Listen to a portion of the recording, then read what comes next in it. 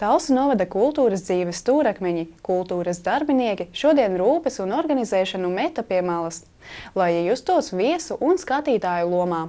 Labākie no viņiem šodien saņēma Talsu novada pašvaldības apbalvojumus. Šodien Talsu tautas namā aizvadīta kultūras darbinieku diena, kurā piedalījās visi novada kultūras darbinieki, bibliotekāri, mūzikas un mākslu skolu pedagogi. Pasākumā tika pasniegti Talsu novada pašvaldības apbalvojumi kultūrā.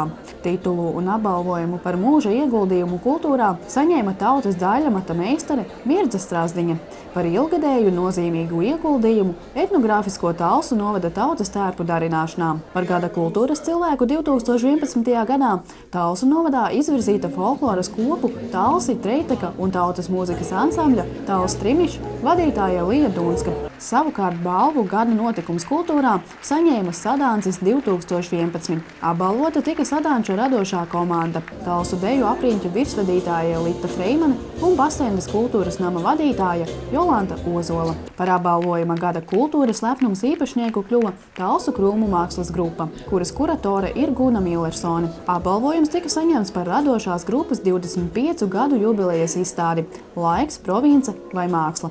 Nomināciju laikmetīgākā biblioteka saņēma Talsu bērnu biblioteka un tās vadītāja Ilza Jaunbērziņa par radošu inovatīvu bibliotekas darbu un lasīšanas veicināšanas pasākumiem 2011. gadā. Sveikti tika arī tie, kas ikdienā rūpējas par to, lai kultūra, mūzika un grāmatas nebūtu atstātas novārtā arī pagastu pārvaldēs.